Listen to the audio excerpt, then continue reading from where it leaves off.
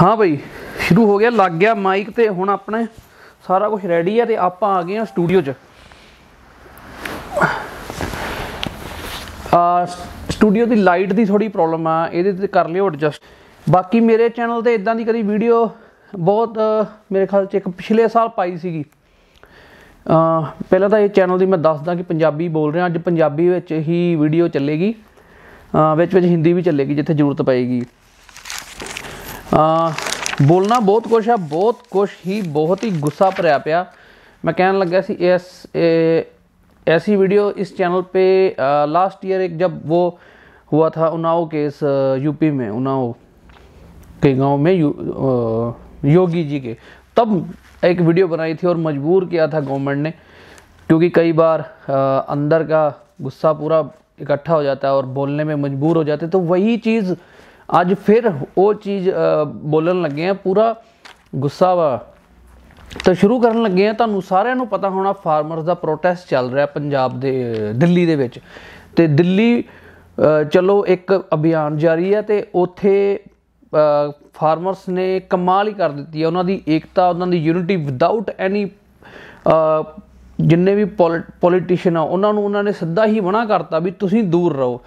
ਆਪਦੇ ਦਮ ਤੇ ਉਹ ਕਿਸਾਨ ਉੱਥੇ ਧਰਨੇ ਤੇ ਬਹਿ ਕੇ ਤੇ ਦਿੱਲੀ ਤੱਕ ਪਹੁੰਚ ਗਏ ਤੇ ਕਿਸ ਤਰੀਕੇ ਨਾਲ ਪਹੁੰਚੇ? ਸਾਰੀ ਦੁਨੀਆ ਨੇ ਦੇਖਿਆ, ਮੈਂ ਕਹਿੰਦਾ ਹਿਲਾ ਕੇ ਰੱਖਤਾ ਸਿਸਟਮ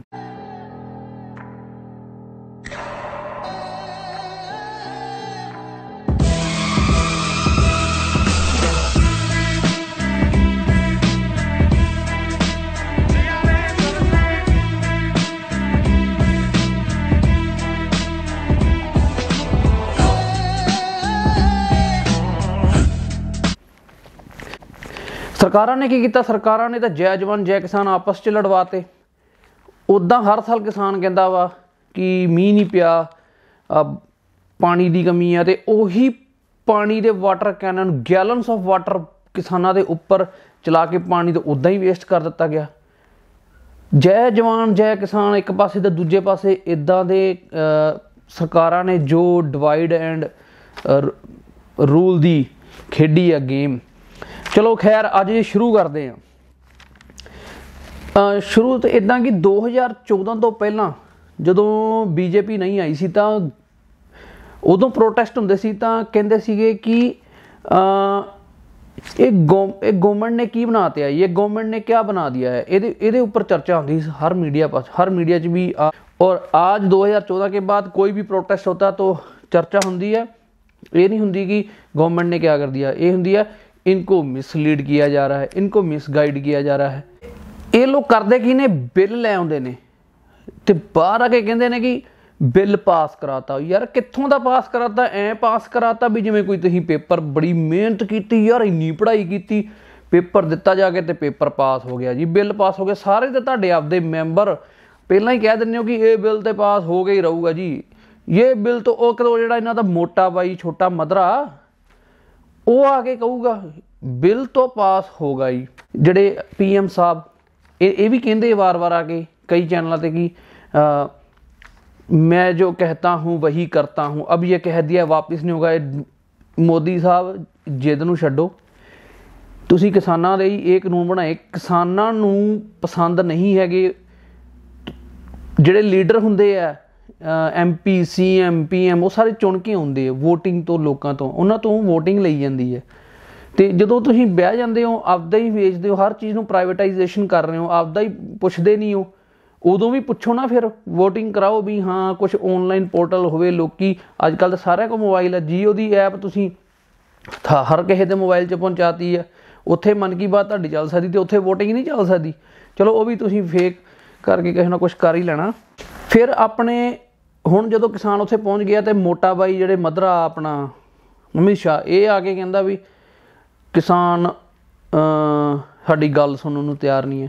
ਤੁਹਾਡੇ ਜਿੰਨੇ ਵੀ ਤੁਹਾਡਾ ਮੀਡੀਆ ਦੇ ਸਾਡੇ ਹੈਗੇ ਆ ਜੀ ਨਿਊਜ਼ ਜਿੱਥੇ ਜ- ਜੀ ਨਿਊਜ਼ ਹੋ ਗਿਆ ਰਿਪਬਲਿਕ ਟੀਵੀ ਹੋ ਗਿਆ, ਹਨਾ, ਅੱਜ ਤੱਕ ਸਾਰੇ ਮੈਕਸਿਮਮ ਜਿੰਨੇ ਚੈਨਲ ਸਾਰਿਆਂ ਤੇ ਇਹੀ ਨਿਊਜ਼ ਚੱਲ ਰਹੀ ਹੈ ਕਿ ਕਿਸਾਨ ਦੀ ਦੋ- ਗੱਲ ਨਹੀਂ ਸੁਣ ਰਿਹਾ ਜੀ। हमारी तो बात नहीं सरकार की बात नहीं सुनना चाहते उनके साथ कोई वार्तालाप नहीं करना चाहते ये लोग गुंडागर्दी कर रहे हैं ये कर रहे हैं तोड़ रहे हैं ਯਾਰ 2 ਮਹੀਨੇ ਲਗਾਤਾਰ ਉਹ ਪੰਜਾਬ 'ਚ ਇੱਥੇ ਬੈਠੇ ਰਹੇ ਧਰਨੇ ਤੇ ਉਹਨਾਂ ਨੇ ਅਮ, ਬੰਦ ਕਰਾਏ ਟੋਲ ਟੋਲ ਬੰਦ ਕਰਾਏ ਤਾਂ ਕਿ ਤੁਹਾਡੇ ਤੱਕ ਪਹੁੰਚੇ ਤੁਹਾਡੇ ਕੰਨਾਂ 'ਚ ਜੂੰ ਸਰਕੇ ਤੇ ਤੁਸੀਂ ਕੋਈ ਸ਼- ਜਵਾਬ ਦਿਓ ਯਾਰ ਮੈਂ ਨਹੀਂ ਕਹਿੰਦਾ ਕਿ ਇਹ ਕਾਨੂੰਨ ਚਲੋ ਮੈਂ ਕਿਸਾਨ ਨਹੀਂ ਹੈਗਾ। ਮੈਂ ਚਲੋ ਇੱਕ ਪਾਸੇ ਮੰਨ ਵੀ ਲੈਣਾ ਇਹ ਜਿਹੜੇ ਕਾਨੂੰਨ ਹੈ ਇਹ ਕਿਸਾਨਾਂ ਨੂੰ ਨਹੀਂ ਸਮਝ ਆਏ ਮੰਨ ਲੈਂਦੇ ਆ ਤੇ ਹੋ ਸਕਦਾ ਉਹਨਾਂ ਦੇ ਫਾਇਦੇ ਲਈ ਹੋਣ। ਪਰ ਯਾਰ ਤੁਸੀਂ ਉਹ 2 ਮਹੀਨੇ ਜਾ ਕੇ ਇੱਥੇ ਆਏ ਹੋ ਵੋਟਾਂ ਲੈਣ ਤੇ ਆ ਜਾਂਦੇ ਸੀਗੇ। ਹਰ ਸਟੇਟ 'ਚ ਤੁਸੀਂ ਗਏ ਹੋ ਉਹਨਾਂ ਦੀ ਟ੍ਰੈਡੀਸ਼ਨਲ ਡਰੈਸ ਪਾ ਕੇ ਪੰਜਾਬ 'ਚ ਵੀ ਆਏ ਹੋ। ਉਦੋਂ ਪੱਗ ਬੰਨ ਕੇ ਆ ਕੇ ਕਹਿ ਦਿੰਦੇ ਸੀ ਆਪ ਚੰਗਾ ਸੀ। ਹੁਣ ਕਿਉਂ ਨਹੀਂ ਆਏ? ਹੁਣ ਆਓ ਨਾ ਇੱਥੇ। 2 ਮਹੀਨੇ ਤੱਕ ਨਹੀਂ ਆਏ। ਹੁਣ ਜਦੋਂ ਕਿਸਾਨ ਉੱਥੇ ਹਾਰ ਕੇ ਤੁਰੇ, ਤਾਂ ਤੁਸੀਂ ਕਹਿੰਦੇ ਜੀ, ਕਿਸਾਨ ਤੋਂ ਇਦਾਂ ਕਰਦੇ, ਕਿਸਾਨ ਤੋਂ ਵੈਸੇ ਕਰਦੇ। ਮੋਟਾ ਬਾਈ, ਤੈਨੂੰ ਗੱਲ ਪੱਲੇ ਨਹੀਂ ਪੈਂਦੀ ਵੀ। ਤੇ ਮੋਟਾ ਬਾਈ ਕੀ ਕਹਿ ਰਹੇ ਨੇ? ਤੁਸੀਂ ਆਓ ਬੁਰਾੜੀ। ਤੇ ਆਪਾਂ ਗੱਲ ਕਰਦੇ ਆਂ ਤਾਂ ਤੁਸੀਂ, ਯਾਰ ਤੁਸੀਂ ਜਦੋਂ ਪੰਜਾਬ ਆ ਸਕਦੇ ਸੀਗੇ, ਉਦੋਂ ਤੁਸੀਂ ਆਏ ਨਹੀਂ। ਹੁਣ ਉਹ ਉੱਥੇ ਚੱਲ ਕੇ ਆ ਰਹੇ, ਤੁਸੀਂ ਉਹਨਾਂ ਨੂੰ ਉੱਥੇ ਦਿੱਲੀ ਐਂਟਰ ਕਰਨ ਦਿਓ ਤੇ ਉੱਥੇ। ਉਹਨਾਂ ਨੂੰ, ਉਹਨਾਂ ਨਾਲ ਵਾਰਤਾਲਾਪ ਕਰੋ। ਮੈਨੂੰ ਤਾਂ ਇਹ ਗੱਲ ਨਹੀਂ ਸਮਝ ਆਉਂਦੀ ਕਿ ਤੁਸੀਂ ਯਾਰ ਉਹਨਾਂ ਲਈ ਰ- ਉਹਨਾਂ ਦੀ ਰ- ਨਾ ਪਹੁੰਚ ਸਕਣ ਦਿੱਲੀ। ਉਹਨਾਂ ਦਾ ਹੱਕ ਹੈ ਪਹਿਲੀ ਗੱਲ ਤਾਂ। ਉਹ ਦਿੱਲੀ ਨਾ ਪਹੁੰਚ ਸਕਣ। ਤੁਸੀਂ ਉਹਨਾਂ ਤੇ ਪਾਣੀ ਦੀਆਂ ਬੁਸ਼ਾਰਾਂ ਚਲਾਤੀਆਂ ਇੰਨੇ ਠੰਡ ਵਿੱਚ ਇੰਨੇ ਟੈਂਪਰੇਚਰ ਦੇ ਵਿੱਚ। ਫਿਰ ਉੱਥੇ ਬੁੜੇ ਲੋਕ ਸੀ ਬੁੜੀਆਂ ਬੀਬੀਆਂ ਵੀ ਸੀ ਉਹਨਾਂ ਤੇ ਪਾਣੀ ਚਲਾਤਾ। ਫਿਰ ਅ, ਸੜਕ ਤੋੜਤੀ। ਗਵਰਨਮੈਂਟ ਪ੍ਰਾਪਰਟੀ ਦਾ ਤੁਸੀਂ ਨੁਕਸਾਨ ਕੀਤਾ। ਫਿਰ ਉਹਦੇ ਤੇ ਉਹ- ਉਹ ਗਵਰਨਮੈਂਟ ਪਬਲਿਕ ਦੇ ਟੈਕਸ ਤੋਂ ਸੜਕ ਬਣਾਈ। ਫਿਰ ਦੁਬਾਰਾ ਹੋਰ ਪੈਸਾ ਲਾ ਕੇ ਸੜਕ ਬਣਾਉਂਗੇ ਆਖਿਰਕਾਰ ਨਤੀਜਾ ਕੀ? ਉਹਦਾ ਉੱਥੇ ਪਹੁੰਚ ਹੀ ਗਏ। ਕਿ ਨਹੀਂ ਪਹੁੰਚ ਗਏ? ਮੋਦੀ ਸਾਹਿਬ, ਉੱਥੇ ਲਵਾਓ ਹੁਣ ਆਪਣਾ ਸਿੰਧੂ ਬਾਰਡਰ ਤੇ ਆਪਣਾ ਚਾਹ ਦਾ, ਲੰਗਰ ਤੇ ਪਕੌੜਿਆਂ ਦਾ। ਅਰੇ ਕਿਸਾਨ ਗੱਲ ਕਰਨ ਨੂੰ ਨਹੀਂ ਤਿਆਰ ਲੈ ਦੱਸ। ਕਿਸਾਨ ਇੱਥੇ ਬੈਠੇ ਸੀ, ਉਦੋਂ ਤਾਂ ਤੁਸੀਂ ਆਏ ਨਹੀਂ। ਤੇ ਤੁਸੀਂ ਇਹ ਲੋਕ ਉੱਥੇ, ਜੋ ਤੁਸੀਂ ਇਹ ਲੋਕਾਂ ਨੂੰ ਆਪਣੇ ਨਿਊਜ਼ ਚੈਨਲਾਂ ਦੇ ਥਰੂ ਇਹ ਲੋਕਾਂ ਨੂੰ ਤੁਸੀਂ ਮੈਸੇਜ ਪਹੁੰਚਾ ਰਹੇ ਹੋ ਕਿ ਅਸੀਂ ਕਿਸਾਨਾਂ ਨੂੰ ਤਾਂ ਰੋਕ ਰਹੇ ਹਾਂ ਵੀ ਕਿਸਾਨ ਜਿਹੜਾ ਇਹ ਕਰੋਨਾ ਫੈਲਿਆ ਹੋਇਆ ਪੈਂਡੈਮਿਕ ਹੋਇਆ ਹੋਇਆ ਯਾਰ ਇੱਕ ਗੱਲ ਦੱਸੋ। ਇਹ ਜਿਹੜਾ ਤੁਸੀਂ ਆਪਣਾ ਮੋਟਾ ਬਾਈ, ਇਹਨੂੰ ਪੁੱਛੇ ਵੀ ਕੋਈ ਜਿਹੜਾ ਤੁਸੀਂ ਆਹ ਬਿਹਾਰ ਚ ਕੀਤੀਆਂ ਰੈਲੀਆਂ। ਤੇ ਹੁਣ ਅੱਜ ਅੱਜ ਕੀਤੀ ਇੱਕ ਪੀਐਮ ਨੇ ਰੈਲੀ। ਤੇ ਫਿਰ ਉਹ ਮੰਦਿਰ ਜਿਹੜਾ ਉਹ ਬਣਿਆ ਸੀਗਾ ਜਿੱਥੇ ਅਯੋਧਿਆ, ਉਥੇ ਕਿਸੇ ਪ- ਪੁਜਾਰੀ ਨੂੰ ਵੀ ਕਰੋਨਾ ਹੋ ਗਿਆ ਸੀ। ਉਥੇ ਸਾਰਾ ਕੁਝ ਇਕੱਠਾ ਹੋ ਸਕਦਾ ਵਾ। ਉਦੋਂ ਨਹੀਂ ਕਰੋਨਾ, ਹੁਣ ਹੁਣ ਕਰੋਨਾ ਵਾ। ਹੁਣ ਇਹਨਾਂ ਨੂੰ ਕਰੋਨਾ ਯਾਦ ਆਉਂਦਾ, ਕਿਉਂਕਿ ਪਤਾ ਲੱਗ ਗਿਆ ਵਾ ਵੀ ਇਹ ਇਦਾਂ ਨਹੀਂ ਸੰਭਲਨੇ ਇਹ ਕਿਸਾਨਾਂ ਨੇ ਇਦਾਂ ਨਹੀਂ ਸੰਭਲਣਾ ਜਾਂ ਤੇ ਇਹਨਾਂ ਨੂੰ ਆਪਸ 'ਚ ਕੋਈ ਫੁੱਟ ਪਵਾਤੀ ਜਾਵੇ ਝੂਠੀਆਂ ਖਬਰਾਂ ਤੁਸੀਂ ਹਰ ਚੈਨਲਾਂ ਤੇ ਚਲਾਈ ਜਾਂਦੇ ਹੋ ਆਪਦੇ ਤੁਸੀਂ ਕੋਈ ਨਿਊਜ਼ ਚੈਨਲ ਆ ਆ ਵੇਖੋ ਇੱਕ ਆ ਇੱਕ ਮੈਂ ਤੁਹਾਨੂੰ ਵੀਡੀਓ ਦਿਖਾ ਰਿਹਾ ਦੇਖਿਓ नहीं ये अच्छा नहीं लगता क्योंकि सच आप जानते ही हैं हमेशा कड़वा होता है ऐसा ही एक सच हमने दो दिन पहले दिल्ली में चल रहे दिल्ली के आसपास चल रहे किसान आंदोलन को लेकर बोला था और वो सच ये था कि इस आंदोलन में अब खालिस्तान और कुछ खास राजनीतिक पार्टियों की एंट्री हो चुकी है और ये आंदोलन पूरी तरह से राजनीतिक हो चुका है लेकिन हमारी ये बात कुछ लोगों को बड़ी कड़वी लगी ਇਦਾਂ ਇਦਾਂ ਦੇ ਹੈਸ਼ਟੈਗ ਚਲਾ ਰਹੇ ਨੇ ਇਦਾਂ ਇਦਾਂ ਦੇ ਹੈਸ਼ਟੈਗ हिंसा के बारे में पता चलेगा क्योंकि इस आंदोलन में शामिल एक व्यक्ति ने जब हमने उससे बात की उससे जानना चाहा कि उसके मन में क्या है क्यों आंदोलन कर रहे हैं और इस आंदोलन के पीछे उनकी मांगे क्या हैं उनकी रणनीति क्या है उनका रोड मैप क्या है तो फिर उस व्यक्ति ने क्या ਕਿ ਅੰਦੋਲਨ ਮੇ ਖਾਲਿਸਤਾਨ ਉਹ ਯਾਰ ਕਿਹੜਾ ਖਾਲਿਸਤਾਨ ਫਿਰ ਉਹ ਮੋਟਾ ਬਾਈ ਕਹਿੰਦਾ ਉਹ ਜਿਹੜਾ ਖੱਟੜ ਉਹ ਯਾਰ ਖੱਟੜ ਮੇਰੀ ਗੱਲ ਸੁਣ ਜਦੋਂ ਉਹਨਾਂ ਨੇ ਆਉਣਾ ਦਿੱਲੀ ਆ ਤੈਨੂੰ ਕੀ ਲੋੜ ਪਈ ਉਹਨਾਂ ਨੂੰ ਵਿੱਚ ਰੋਕਣ ਦੀ ਉਤੋਂ ਬਿਆਨ ਇਹ ਦੇ ਰਿਹਾ ਕਿ ਇਹਨਾਂ ਨੂੰ ਅ, ਅ, ਕੈ- ਕੈਪਟਨ ਸਾਹਿਬ ਨੇ ਇਹਨਾਂ ਨੂੰ ਅ, ਭੜਕਾਇਆ ਵਾ ਗਵਰਨਮੈਂਟ ਦੇ ਖਿਲਾਫ ਯਾਰ ਤੂੰ ਮੈਨੂੰ ਇਹ ਦੱਸ ਵੀ ਜਿਹੜੇ ਰਾਜਸਥਾਨ ਤੋਂ ਆ ਰਹੇ ਨੇ ਕਿਸਾਨ ਤੇਰੇ ਆਪਦੇ ਦੇ ਹਰਿਆਣੇ ਆ ਰਹੇ ਉਹਨਾਂ ਨੂੰ ਕੌਣ ਭੜਕਾ ਰਿਹਾ ਉਹਨਾਂ ਨੂੰ ਫਿਰ ਤੂੰ ਭੜਕਾ ਰਿਹਾ ਮਤਲਬ ਤੂੰ ਉੱਥੋਂ ਦਾ ਸੀਐਮ ਫਿਰ ਤੁਹਾਨੂੰ ਇੱਕ ਹੋਰ ਵੀਡੀਓ ਦਿਖਾਉਣਾ ਆ ਮੋਟਾ ਬਾਈ ਦੀ ਆ ਦੇਖਿਓ कि भारत सरकार आपसे चर्चा करने के लिए तैयार ही है तीन दिसंबर को कृषि मंत्री जी ने आपको निमंत्रण पत्र भेजा है चर्चा के लिए और भारत सरकार आपकी हर समस्या और आपकी हर मांग पर विचार विमर्श करने के लिए तैयार है। और अगर किसान यूनियन चाहते हैं कि भारत सरकार जल्द बात करे, तीन तारीख के पहले इनसे बात करे तो मेरा आप सभी को ये आश्वासन है कि जैसे ही आप लोग इसमें शिफ्ट हो जाते हैं, एक स्ट्रक्चर्ड जगह पे अपने आंदोलन को शिफ्ट करते हैं और वहाँ पर आप अच्छी तरीके से सेट हो जाते हैं। दूसरे ही दिन भारत सरकार आपके साथ आपकी समस्या और मांगों के लिए बातचीत करने के लिए तैयार है ਸੁਣ ਲਿਆ ਵਾਹ ਮੋਟਾ ਬਾਈ ਕੀ ਬਾਤ ਹੈ ਮੈਂ ਕਹਿੰਦਾ ਸਿਰਾ ਲਾਤਾ ਸੁਣ ਲਿਆ ਹੁਣ ਯਾਰ ਤੁਸੀਂ ਇੱਕ ਹੋਰ ਵੀਡੀਓ ਦੇਖਿਓ ਆ ਆ ਰੱਜਾ ਸ਼ਰਮਾ ਦੀ ਵੀਡੀਓ ਵੀ ਦੇਖੋ नमस्कार आज की बात में आपका स्वागत है आज मैं आपसे देश के किसानों की बात करना चाहता हूं वो किसान जो अन्नदाता है वो किसान जो गर्मी, सर्दी, बरसात की परवाह किए बगैर हमारे लिए अनाज उगाता है, सब्ज़ियाँ, फल उगाता है। वो किसान जिनकी मेहनत से हमें दो वक्त की रोटी ठीक से मिलती है, उस किसान को पिछले दो तीन दिन में कई बातें बताई गई हैं। किसानों को बताया गया है कि मोदी सरकार अनाज की मंडियों को बंद कर देगी, एमएसपी को खत्म कर देगी, इन्वेस्टर किसान की ज़मीन पर कब्जा कर लेंगे फसल को स्टॉक किया जाएगा और किसानों को अब पहले से कम दाम मिलेंगे ये सारी बातें सरकार द्वारा लाए गए नए बिल के बारे में कही गई हैं और इन्हें फैलाने की शुरुआत कांग्रेस ने की थी अब अकाली दल भी इसमें शामिल हो गया है हरियाणा और पंजाब में किसानों को सड़कों पर उतारा गया ਯਾਰ ਇਹਨੇ ਸਿਰਾ ਹੀ ਲਾਤਾ ਤੇ ਤੇ ਇਹਨਾਂ ਦੇ ਮੀਡੀਆ ਕੰਮ ਕੀ ਕਰ ਰਿਹਾ ਹੈ? ਇਹਨਾਂ ਦਾ ਕੰਮ ਹੈ ਜੋ ਸ਼ੁਰੂ 'ਚ ਜਿਵੇਂ ਸ਼ਾਹੀਨ ਬਾਗ 'ਚ ਬੈਠੇ ਸੀਗੇ, ਉਦੋਂ ਤਾਂ ਚਲੋ ਕਰੋਨਾ ਆ ਗਿਆ, ਨਹੀਂ ਤੇ ਉਹਨਾਂ ਨੇ ਵੀ ਨਹੀਂ ਉੱਠਣਾ ਸੀ। ਉਦੋਂ ਵੀ ਇਹਨਾਂ ਕੋਲ ਸੰਭਲ ਨਹੀਂ ਪਾ ਰਿਹਾ ਵੀ ਕੀ ਕਰਨਾ। ਉਹ ਤਾਂ ਕਰੋਨਾ ਆ ਗਿਆ, ਇਹਨਾਂ ਨੇ ਚਲੋ ਇਹਨਾਂ ਦੀ ਕਿਸਮਤ ਚੰਗੀ ਸੀ। ਤੇ ਇੱਕ ਜਿਹੜੇ ਆਹ ਇਹਨਾਂ ਦਾ ਕੰਮ ਮੈਂ ਦੱਸਣ ਡਿਆ ਸੀ ਮੀਡੀਆ ਦੇ, ਮੀਡੀਆ ਦਾ ਇਹਨਾਂ ਦਾ ਕੰਮ ਕੀ ਕੀ ਕਰਾਉਂਦੇ ਆ ਫੇਕ ਖਬਰਾਂ ਚਲਾਉਂਦੇ ਆ, ਫੇਕ ਹੈਸ਼ਟੈਗ ਤੁਹਾਨੂੰ ਜਿੱਦਾਂ ਕਿ ਦੱਸਿਆ, ਅੰਦੋਲਨ ਵਿੱਚ ਖਿਆ- ਉਹ ਅੰਦੋਲਨ ਵਿੱਚ ਖਾਲਿਸਤਾਨੀ ਦੀ ਐਂਟਰੀ ਇਦਾਂ ਦੇ, ਤੇ ਇਹਨਾਂ ਦਾ ਮੀਡੀਆ ਦਾ ਸਭ ਤੋਂ ਖਤਰਨਾਕ ਕੰਮ ਕੀ ਹੁੰਦਾ? ਕੁਝ ਵੀ ਬੋਲ ਦੇਣਾ ਹੈਡਲਾਈਨਸ ਚਲਾਉਣਾ ਲੋਕਾਂ ਨੂੰ ਭਰਮਾਉਣਾ ਜਿੱਦਾਂ ਇਹਨਾਂ ਨੇ ਕੋਈ ਹੈਡਲਾਈਨ ਚਲਾ ਦੇਣੀ ਕਿਸਾਨ ਮਿਸਗਾਈਡ ਹੋ ਗਿਆ ਹੈ ਕੁਐਸਚਨ ਮਾਰਕ मतलब क्वेश्चन मार्क लाके ਤੁਸੀਂ ਅੱਗੇ ਕੁਝ ਵੀ ਲਿਖ ਦਿਓ ਯਾਰ किसानों को नए कानून का मतलब नहीं पता क्वेश्चन मार्क किसानों ने पुलिस वालों के ऊपर की पत्थरबाजी क्वेश्चन मार्क ਸਭ ਤੋਂ ਖਤਰਨਾਕ ਇਹਨਾਂ ਬ੍ਰਹਮ ਅਸਤਰਾ ਮੈਂ ਕਹਿੰਦਾ ਹਰ ਪ੍ਰੋਟੈਸਟ ਕੋਈ ਵੀ ਜਿਹੜਾ ਇਹਨਾਂ ਨੂੰ ਨਹੀਂ ਸਮਝ ਆਉਂਦਾ, ਜਿਵੇਂ ਉਹ ਜੇਐਨਯੂ ਚ ਕਨਈਆ ਕੁਮਾਰ ਨਾਲ ਹੋਇਆ ਸੀ, ਫਿਰ ਸ਼ਾਹੀਨ ਬਾਗ ਚ, ਫਿਰ ਆਹਾ ਹੁਣ ਹੁਣ ਇਹਨਾਂ ਨੇ ਇੱਥੇ ਵੀ ਉਹੀ ਕੰਮ ਸ਼ੁਰੂ ਕਰਤਾ। ਅੰਦੋਲਨ ਮੇ ਚਲੇ, ਖਾਲਿਸਤਾਨ ਜ਼ਿੰਦਾਬਾਦ ਔਰ ਪਾਕਿਸਤਾਨ ਕੇ ਨਾਰੇ ਕੁਐਸਚਨ ਮਾਰਕ ਕਈ, ਇੱਕ ਇਹ ਚੈਨਲ ਤੇ, ਕਈਆਂ ਚੈਨਲ ਤੇ ਸਿੱਧਾ ਹੀ ਵਿਖਾਇਆ ਵੀ ਕੋਈ ਕੁਐਸਚਨ ਮਾਰਕ ਨਹੀਂ। ਫਿਰ ਕਈਆਂ ਚੈਨਲਾਂ ਤੇ ਇਹ ਦਿਖਾਇਆ ਜਾ ਰਿਹਾ ਕਿ ਮੋਦੀ ਨੂੰ ਕਹਿ ਰਹੇ ਆ ਕਿ ਅਸੀਂ ਮਾਰ ਦੇਣਾ ਅੱਲਾ। ਤੇ ਵੀਡੀਓ ਪੂਰੀ ਨਹੀਂ ਦਿਖਾ ਰਹੇ, ਉਹ ਕੱਟ ਵੱਟ ਕੇ ਇੱਕ ਛੋਟਾ ਪਾਰਟ ਦਿਖਾ ਰਹੇ ਆ। ਗੱਲ ਮੁੱਕਦੀ ਇਹ ਹੈਗੀ ਮੋਦੀ ਸਾਹਿਬ, ਤੁਸੀਂ ਗਏ ਹੋ, ਡਰ, ਇਹ ਪਹੁੰਚ ਗਏ ਨੇ ਦਿੱਲੀ ਤੇ ਤੁਸੀਂ ਨਹੀਂ ਚਾਹੁੰਦੇ ਕਿ ਇੰਟਰਨੈਸ਼ਨਲ ਮੀਡੀਆ ਤੱਕ ਨਿਊਜ਼ ਜਾਵੇ। ਬਸ ਇਹ ਇਹ ਗੱਲ ਕਹਿਤੀ ਜੀ, ਬਸ ਬਿੱਲ ਤੋਂ ਪਾਸ ਹੋ ਗਿਆ ਹੈ ਜੀ। ਕੀ ਬਿੱਲ ਪਾਸ ਹੋ ਗਿਆ ਜੀ? ਸਭ ਚੰਗਾ ਸੀ। ਤੇ ਇੱਕ ਆਹ ਵੀਡੀਓ ਦੇਖਿਓ ਜਰਾ।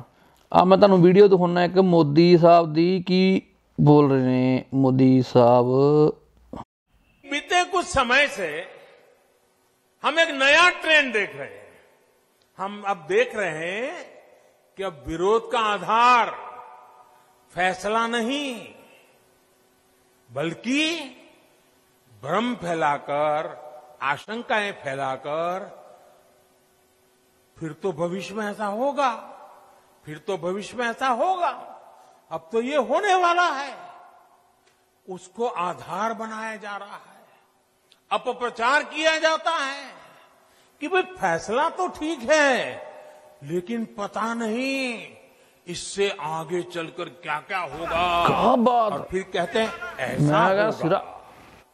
जो अभी हुआ ही नहीं है जो कभी होगा ही नहीं उसको लेकर समाज में भ्रम फैलाया जाता है।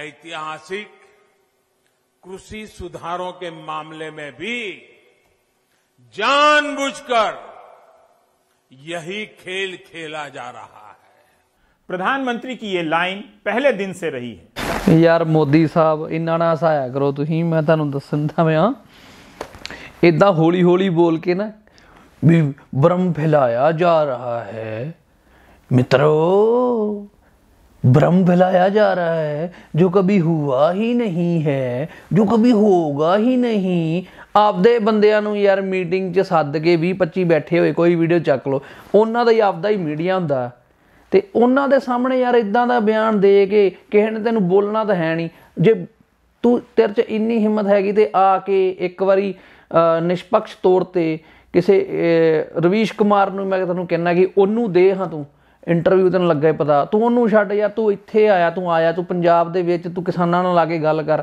ਤੂੰ ਉੱਥੇ ਤਾਂ ਆਉਣਾ ਹੀ ਨਹੀਂਗਾ। ਤੂੰ ਉੱਥੇ ਆ ਹੀ ਨਹੀਂ ਸਕਦਾ। ਜਦੋਂ ਭਾਈ ਸਾਹਿਬ ਮੋਦੀ ਸਾਹਿਬ ਜਦੋਂ ਤੁਸੀਂ ਵੋਟਾਂ ਲੈਣੀਆਂ ਹੁੰਦੀਆਂ ਪੰਜਾਬ 'ਚ, ਉਦੋਂ ਤੁਸੀਂ ਆਉਂਦੇ ਜੇ ਇੱਥੇ।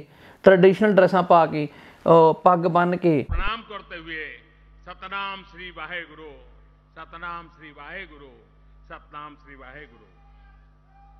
ਤੇ ਆ ਕੇ ਕਹਿੰਦੇ ਉਹ ਕੀ ਸਭ ਚੰਗਾ ਸੀ। ਕਿਹੜਾ ਚੰਗਾ ਸੀ? ਹੁਣ ਕਿਉਂ ਨਹੀਂ ਆ ਰਿਹਾ ਤੂੰ? ਹੁਣ ਤੇ ਉਹਨਾਂ ਨੂੰ ਹੀ ਨਹੀਂ ਆ ਰਿਹਾ, ਉਹਨਾਂ ਉਦੋਂ ਇਹਨਾਂ ਕੋਲ ਆ ਕੇ ਵੋਟ ਮੰਗਦਾ ਸੀ ਤੇ ਹੁਣ ਤੂੰ ਇਹਨਾਂ ਦੇ ਨੂੰ ਮਿਲ ਮਿਲ ਨਹੀਂ ਰਿਹਾ ਤੂੰ। ਇਹ ਕਹਦਾ ਲੋਕਤੰਤਰ ਆ ਵੀ ਪੀਐਮ ਨਾਲ ਕੋਈ ਮਿਲ ਹੀ ਨਹੀਂ ਸਕਦਾ। ਕੋਈ ਪਾਰਟੀ, ਕੋਈ ਕੋਈ ਫਾਰਮਰਸ ਹੀ ਹੋ ਗਏ ਹੁਣ। ਇਹ ਨਹੀਂ ਪੀਐਮ ਸਾਹਿਬ ਨੂੰ ਮਿਲ ਸਕਦੇ। ਲੈ ਦੱਸ ਕੀ ਬਾਤ ਹੈ। ਤੇ ਹੁਣ ਜਦੋਂ ਦੋ, ਹੁਣ ਜਦੋਂ 2 ਮਹੀਨੇ ਇੱਥੇ ਬਹਿ ਕੇ ਤੇ ਦਿੱਲੀ ਵੱਲ ਗਏ, ਉਦੋਂ ਤੈਨੂੰ ਟੀਵੀ ਤੇ ਆ ਕੇ, ਜੀ ਸਾ- ਜੋ ਕभी ਹੁਆ ਹੀ ਨਹੀਂ ਹੈ, ਜੋ ਕभी ਹੋਗਾ ਹੀ ਨਹੀਂ, ਹੁਣ ਤੈਨੂੰ ਗੱਲਾਂ ਆਉਂਦੀਆਂ।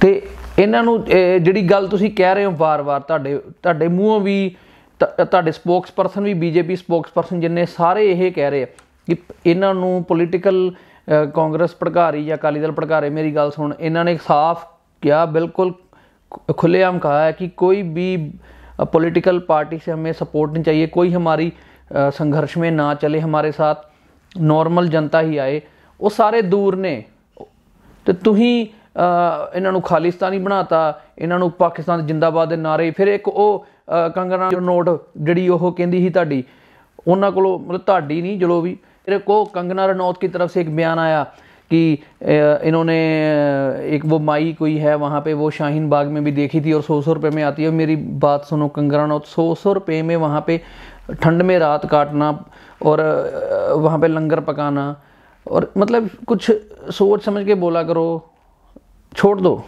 छोड़ दो छोड़ दो, सस्ते नशे छोड़ दो। मैं कह रहा हूँ, छोड़ दो, कंगना साहब, कंगना मैडम, छोड़ दो। कुछ नहीं रखा इन चीज़ों में। आपका जो पहले सपोर्ट करी थी सबने अ, पंजाबियों ने भी सपोर्ट की थी शायद आपका दफ्तर टूट गया है तो आपके साथ गलत हो गया लेकिन ਮੈਨੂੰ ਨਹੀਂ ਲੱਗਦਾ ਅ, ਵੀ ਤਾਂ ਕੁਛ ਨਾ ਕੁਛ ਤੇ ਤੁਹਾਡੇ ਦਿਮਾਗ 'ਚ ਨਾ ਮੈਨੂੰ ਲੱਗਦਾ ਕੁਛ ਹੈਗਾ ਫਰਕ ਕੋਈ ਚੀਜ਼ ਦਾ ਕੋਈ ਪੇਜ ਢਿੱਲਾ ਵਾ ਜਿਹੜਾ ਨਾ ਥੋੜਾ ਲੇਟ ਸਮਝ ਆਇਆ ਵਾ पर चलो आ गया तो फिर आपके वो बीजेपी आईटी सेल के जो भी स्पोक्स पर्सन हैं उनके बीजेपी आईटी सेल के जो पेज बने हुए हैं फेसबुक व्हाट्सएप के एडमिन व्हाट्सएप यूनिवर्सिटी के, वहाँ के जो उनके एडमिन हैं, ऐसी पोस्टें बना रहे हैं कि एक मुस्लिम ने पगड़ी बाँध कर प्रोटेस्ट में फार्मर्स का साथ दिया। उस तो बाद ये तुम न्यूज़ चलाई। पोस्ट वायरल भी हुई, लोग, लोगों ने देखा भी इसको। यार वो बाद में पता, आपको पता है ना कि पोस्ट जो है, उसका जो सच बाद में क्या निकला कि वो पोस्ट एकदम फेक थी। चलो एक उसको रखते हैं एक साइड में। वो मुस्लिम बंदा पगड़ी बाँध के वहाँ आ गया फार्मर्स के प्रोटेस्ट प्रोटेस्ट में हिस्सा ले रहा है। बुरा क्या है? क्या बुरा है इसमें? और आपके क्यों दर्द हो रहा है? कि वो मुस्लिम है, आप ये मुस्लिम और हिंदू और ये सिखों का नाम, ये मतलब आप हर एंगल से कुछ ना कुछ झगड़ा करवाना चाहते हो। पहली बात तो वो पोस्ट ही फेक थी। अगर वो, मैं तो कहता हूँ, आ गया आ गया यार वो पगड़ी बाँध के आ गया, कोई प्रॉब्लम नहीं हमको। आप नहीं आए थे पगड़ी बाँध के, यहाँ पे कहते थे सब चंगा सी।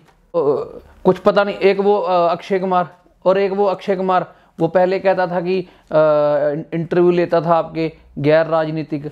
क्या क्या क्या कहते थे उसको गैर राजनीतिक इंटरव्यू कह और पूछ रहा था आपसे सवाल कि हमारे पीएम साहब अ, आम कैसे खाते हैं चूस के खाते हैं छील के खाते हैं ਉਹ ਕਿੱਥੇ ਗਿਆ ਹੁਣ ਉਹਨੂੰ ਕਹਾ ਇੱਥੇ ਆ ਇੰਟਰਵਿਊ ਲੈਣ ਕੋਈ ਉਹਦਾ ਜਵਾ- ਕੋਈ ਉਹਦਾ ਬਿਆਨ नहीं आ रहा अक्षय कुमार साहब आपका कोई बयान नहीं आ रहा अ, आगे पूछिए ज़रा ये जैसे वो मतलब कि आम का क्या भाव चल रहा है गेहूं का क्या भाव चल रहा है ये सब पूछिए ना आगे और वो फिल्में तो आप बनाते हो सिंग इज किंग वो कहाँ है वो किंग क्या हमारे प्रधानमंत्री आम खाते हैं? ये भी उसका क्वेश्चन है कि आम खाते हैं। और अगर खाते हैं तो क्या काट के खाते हैं या ऐसे गुटली के साथ खाते हैं? और मैं बताता हूँ, इन्होंने क्या किया? इन्होंने हर जगह पे पूरी कोशिश किया कि कहीं पे भी प्रोटेस्ट ना हो, लोग इकट्ठा ही ना हो, बिल्कुल इकट्ठा ना हो।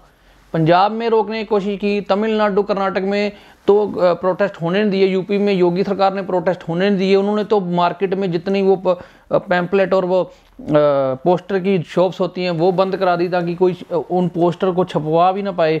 और इसके अलावा मैं आपको बताता हूँ जो आप आप बोल रहे हैं कि किसान भड़क गए राजस्थान से भी आए हैं, तम हरियाणा से भी किसान आए हैं तो वो क्या उ- उनके बारे में क्या कहना आपका? और सबसे जो शर्मनाक बात है दिल्ली पुलिस ने दिल्ली पुलिस ने दिल्ली जो गवर्नमेंट है उनसे रिक्वेस्ट की थी कि, कि हम वहाँ के पाँच जो स्टेडियम हैं वो टेम्पोररी जेल बना दी जाए उनको ताकि फार्मर्स को जब वहाँ पे रखना पड़े तो पकड़ के वहाँ पे डाल दे। लेकिन दिल्ली में आम आदमी पार्टी है तो उन्होंने इस चीज़ की इजाज़त नहीं दी तो वरना तो सोचो वो वो भी एक शर्मनाक बात हो जानी थी। और और आपके न्यूज़ चैनल पे तो क्या हैशटैग ਚੱਲ ਰਹੇ हैं हैशटैग जो जो मैंने आपको पहले बताया ਮੈਂ ਕਹਿੰਦਾ ਪੰਜਾਬੀਓ ਤੁਸੀਂ ਨਾ ਕਸਮ ਖਾ ਲਿਓ ਇਹ ਪੰਜਾਬ ਚ ਆਇਆ ਅੱਗੇ ਪੱਗ ਬੰਨ ਕੇ ਆਇਆ ਇੱਥੇ ਆ ਕੇ ਵੋਟਾਂ ਮੰਗੀਆਂ ਇਹ ਤੇ ਤੁਸੀਂ ਉੱਥੇ ਗਏ ਆਪਾਂ ਗਏ ਆਪਣੇ ਸਾਰੇ ਪੰਜਾਬੀ ਵੀਰ ਉੱਥੇ ਗਏ ਤੇ ਇਹਨਾਂ ਨੇ ਉੱਥੇ ਕੀ ਕੀਤਾ ਸੜਕਾਂ ਤੋੜੀਆਂ ਪਾਣੀ ਦੀਆਂ ਬੁਸ਼ਾਰਾਂ ਚਲਾਈਆਂ ਅ, आंसू गैस चलाए एक आपको पता होगा ये न्यूज़ आपने देखी होगी नवदीप सिंह है जो ये जहाँ से वाटर कैनन चल रहे थे इसने बस के ऊपर चढ़ के वाटर कैनन को बंद किया और इसके ऊपर अ, हरियाणा सरकार ने I P C three zero seven attempt to murder का केस लगा दिया अब ये बताइए ये आप प्रूव कैसे करेंगे कुछ तो शर्म कीजिए कुछ तो शर्म कीजिए ਮੈਂ ਕਹਿੰਦਾ ਸਵਾਦ ਹੈ ਤਾਂ ਜੀ ਹੁਣ ਇਹ ਇੱਥੇ ਆਵੇ ਤੇ ਉੱਥੇ ਕੋਈ ਨਾ ਜਾਵੇ ਗਲਤੀ ਸਾਡੀ ਵੀ ਆ ਇਹ ਲੇਬਰ ਸਾਰੀ ਇਕੱਠੀ ਕਰਕੇ ਛੋਟੇ ਮੋਟੇ ਕਿਸਾਨ ਇਕੱਠੇ ਕਰਕੇ ਉਹਨਾਂ ਨੂੰ ਟਰਾਲੀਆਂ 'ਚ ਭਰ ਭਰ ਕੇ ਕੋਈ ਲਾਲਚ ਦੇ ਕੇ ਉਦੋਂ ਉਹ ਜਦੋਂ ਇਹ ਪੰਜਾਬ 'ਚ ਆਉਂਦਾ ਵਾ ਕੈਂਪੇਨ ਕਰਨ ਤੇ ਉੱਥੇ ਇਹਨੂੰ ਸ- ਭੀੜ ਇਕੱਠਾ ਕਰ ਦਿੱਤੀ ਜਾਂਦੀ ਤੇ ਆਪਣੇ ਪੰਜਾਬੀਆਂ ਦੀ ਹੀ ਬਿਹਾਰ ਤੋਂ ਆਏ ਸਾਰੇ ਇਕੱਠੇ ਕਰਕੇ ਉੱਥੇ ਲੈ ਕੇ ਜਾਂਦੇ ਆ। ਤੇ ਮੈਂ ਕਹਿੰਦਾ ਸੀ, ਉੱਥੇ ਜਾਂਦੇ ਵੀ ਤੇ ਆਪਾਂ ਹੀ ਆ, ਗਲਤੀ ਆਪਣੀ, ਮੈਂ ਕਹਿੰਦਾ ਹੁਣ ਦੂ- ਇਸ ਵਾਰੀ ਉੱਥੇ ਆਵੇ ਤੇ ਜਾਵੇ ਨਾ ਕੋਈ, ਮੈਂ ਤਾਂ ਕਹਿੰਦਾ ਇਹਨੂੰ ਵੜਨ ਨਾ ਦਿੱਤਾ ਜਾਵੇ। ਇਹਨੂੰ ਵੀ ਕਿਹਾ ਜਾਵੇ, ਜਿਵੇਂ ਇਹਨੇ ਕਿਹਾ ਕਿ ਬਰਾੜੀ ਆਓ। ਇਹਨੂੰ ਵੀ ਕਿਹਾ ਜਾਵੇ ਕਿ ਸ਼ੰਭੂ ਬਾਰਡਰ ਤੇ ਆ ਤੇ ਆਪਾਂ ਗੱਲ ਕਰਾਂਗੇ। ਇਹਦੇ ਹੀ ਮੰਨਣਾ ਪਵੇ ਵੀ ਇੱਥੇ ਪੰਜਾਬ 'ਚ ਹੁੰਦੀ ਲਾਸਟ ਇਹ ਗੱਲ ਕਹਿਣਾ ਚਾਹੁੰਦਾ ਕਿ ਹੁਣ ਮੋਦੀ ਕੋਲ ਕੋਈ ਰਸਤਾ ਨਹੀਂ ਬਚਿਆ, ਜਿਹੜੀ ਇਹ ਜੋ ਇਹ ਹਤਕੰਡੇ ਅਪਣਾ ਸਕਦੇ ਆ ਕਿ ਜਿਵੇਂ ਲੜਾਈ ਕਰਾਤੀ, ਇਹ ਸਾਰਾ ਕੁਝ ਆਪਦਾ ਕਰਵਾਈ ਜਾਂਦੇ ਆ, ਕੋਈ ਦੰਗੇ ਹੋ ਜਾਣ, ਕਿਸੇ ਤਰੀਕਾ ਤੁਹਾਡੀ ਲੜਾਈ ਹੋ ਜੇ, ਇੱਥੇ ਮਾਰ ਕੁੱਟ ਹੋ ਜੇ, ਹੁਣ ਇਹੀ ਕਰ ਸਕਦੇ ਆ। ਬਸ ਇਸ ਚੀਜ਼ ਤੋਂ ਬਚਣਾ ਆ, ਇਸ ਚੀਜ਼ ਸੇ ਬਚਣਾ ਹੈ ਸਭ ਨੇ ਔਰ हर चीज़ को सहनशीलता से देखना पूरे पेशेंस ਨਾਲ ਅ, ਮੈਂ- ਮੋਦੀ ਸਾਹਿਬ ਅ, ਛੱਡ ਦੋ ਬਚਪਨਾ ਛੱਡ ਦੋ ਵੀ ਮੈਂ ਇਹ ਕਹਿਤਾ ਮੈਂ ਨਹੀਂ ਇਹ ਇਹ ਤੇ ਮੈਂ ਕਰਨਾ ਹੀ ਕਰਨਾ ਛੱਡ ਦੋ ਅ, ਤੇ ਪਲੀਜ਼ ਆਪਣੇ ਅ, ਜਿਹੜੇ ਤੁਹਾਡੇ ਸਪੋਕਸ ਪਰਸਨ ਹੈਗੇ ਬੀਜੇਪੀ ਵਾਲੇ ਜਾਂ ਬਾਕੀ ਹੋਰ ਮੈਂ ਤਾਂ ਕਹਿੰਦਾ ਵੀ ਤੁਸੀਂ ਨਾ ਅ, ਛੱਡ ਦਿਓ ਹੁਣ ਹੁਣ ਤੁਹਾਡੀ ਉਮਰ ਹੋ ਗਈ ਆ ਜਿਵੇਂ ਉਹ ਕਹਿੰਦੇ ਹੁੰਦੇ ਕਿ ਅ, ਜਦੋਂ ਬੱਚੇ ਦੀ ਬੰਦੇ ਦੀ ਉਮਰ ਜ਼ਿਆਦਾ ਹੋ ਜਾਂਦੀ ਉਹ ਬੱਚਿਆਂ ਵਾਂਗੂ ਕਰਦਾ ਵਾ ਤੇ ਸਥਿਆ ਆ ਜਾਂਦਾ ਵਾ, ਉਹ ਤੁਹਾਡਾ ਹਾਲ ਹੋ ਗਿਆ ਵਾ। ਤੇ ਮੈਂ ਤਾਂ ਕਹਿੰਦਾ ਤੁਸੀਂ ਹੁਣ ਜਾਓ ਜੀ, ਹੁਣ ਤਾਂ ਜਾਓ, ਸਮਝੋ, ਮੈਂ ਕਹਿੰਦਾ ਬਹਿ ਜਾਓ ਘਰੇ ਹੁਣ, ਬਹੁਤ ਬਹੁਤ ਬਹੁਤ ਸੇਵਾ ਕਰ ਲਈ ਤੁਸੀਂ। ਤੇ ਮੈਂ ਵੀ ਉੱਥੇ ਆ ਰਿਹਾ ਤੇ ਮਿਲਾਂਗਾ ਤੁਹਾਨੂੰ ਉੱਥੇ ਹੀ। ਜੈ ਜਵਾਨ, ਜੈ ਕਿਸਾਨ।